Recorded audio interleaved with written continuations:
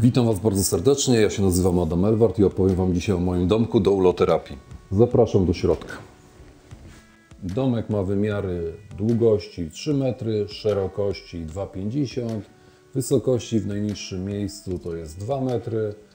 Po bokach będą się znajdowały dwa łóżka o wymiarach 2,20 na 80 cm.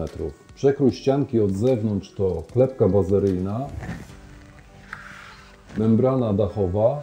W środek przyjdzie wata mineralna o grubości 10 cm, później folia paroizolacyjna i znowu klepka bazeryjna. Przekrój dachu to papa, deska, między krokwiami przyjdzie wata mineralna, od dołu folia paroizolacyjna i klepka bazeryjna. Przekrój podłogi to deska podłogowa o grubości 2,5 cm, folia paroizolacyjna, krokwie, między krokwiami przyjdzie wata mineralna o grubości 10 cm, deski, na których teraz stoję, a pod spodem będzie membrana dachowa.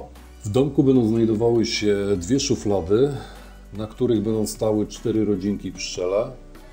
Szuflady będą wysuwane na zewnątrz i tam będzie obsługa tych rodzin pszczelich. Tu będzie znajdowało się łóżko, ale to Wam pokażę później, jak je zrobię. Tak wygląda szuflada na zewnątrz. Tu będą dwa uchwyty do wyciągania tych czterech rodzinek pszczelich. Tu będą znajdowały się wylotki.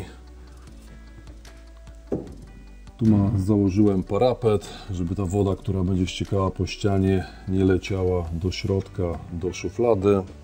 Ten domek znajduje się u mnie w garażu, zostanie rozebrany. Każda ściana oddzielnie przeniesiona na miejsce docelowe, ale to Wam pokażę w następnym odcinku. Dziękuję za oglądanie, pozdrawiam Was bardzo serdecznie.